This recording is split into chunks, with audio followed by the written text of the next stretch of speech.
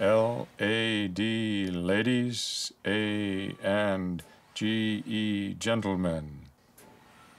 T H I. This is Jason Becker.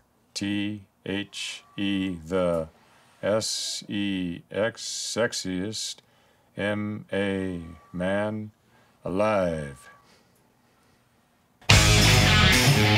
There was nobody better than that dude. He was on another level. When people would hear him, they'd turn their head and go, What the heck was that?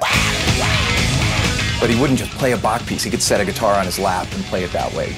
Jason was on his way to becoming a really big rock star. He was gonna just take over the world.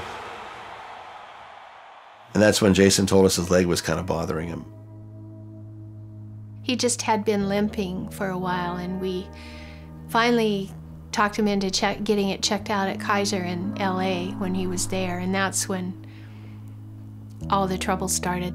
We believe you've got Lou Gehrig's disease and you have three to five years to live. I think his answer was, Am I going to be able to tour? Eventually needed crutches, then a wheelchair.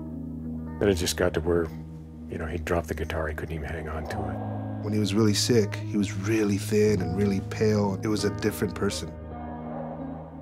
It never surprised me that if there was a way to keep making music, he would. His mind frame was, well, no, I just gotta have stuff to do. So I just have to go do it. And so we created a, a system to allow Jason to be able, using just his chin, to be able to enter in the notes. God, he just kept working.